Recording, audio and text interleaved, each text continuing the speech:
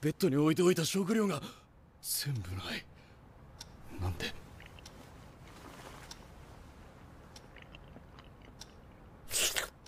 貴様が全部食べたのか。わしじゃない。デンジが食べておったわ。すぐバレる嘘。を分かっちゃった。私分かっちゃった。その魔人違うが？落ち着けコメリちゃん！こいつは血の魔人で！魔人をかばうの？スパイだったんだ酸っぱいじゃ